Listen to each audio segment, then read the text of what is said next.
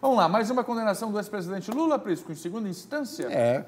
E os seus advogados, seus correligionários e amigos, estavam na expectativa de que, ou que fosse esse caso do sítio de Atibaia, onde empreiteiras se reuniram para reformá-lo, sítio que vai, que leva o nome de um filho de um grande amigo do ex-presidente, mas quem frequentava o sítio era família Lula da Silva.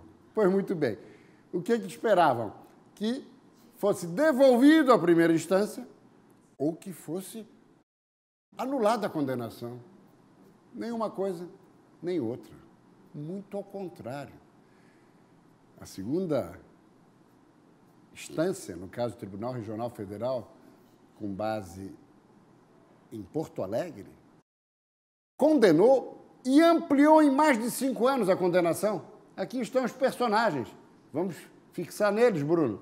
Aqui à esquerda, o relator, João Pedro Gibran Neto. Inclusive fez críticas ao Supremo Tribunal Federal Nossa, no que diz respeito às mudanças introduzidas que os magistrados não são obrigados, entre aspas, a adivinhar. Deu uma bela estocada, uma bela alfinetada na Suprema Corte. Ao centro, Leandro Pausen.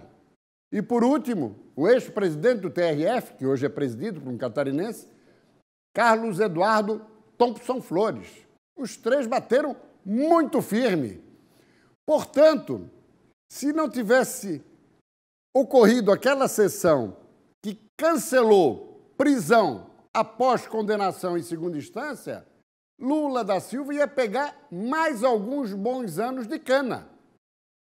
Como agora pode recorrer ao STJ, ao Supremo, transitado e julgado até as últimas consequências e instâncias recursais, agora ele continua livre.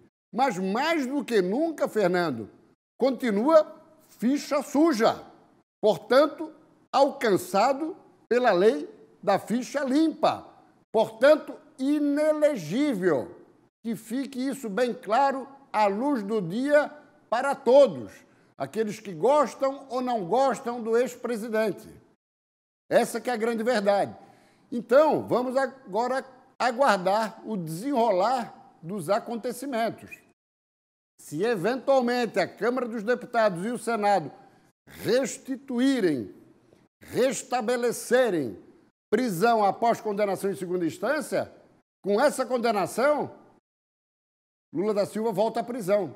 Porque, com relação ao caso do triplex do Guarujá, ele já foi alcançado pela progressão da pena, com direito a regime semiaberto. De dia na, na rua, liberado, à noite se recolhendo à prisão para pernoitar.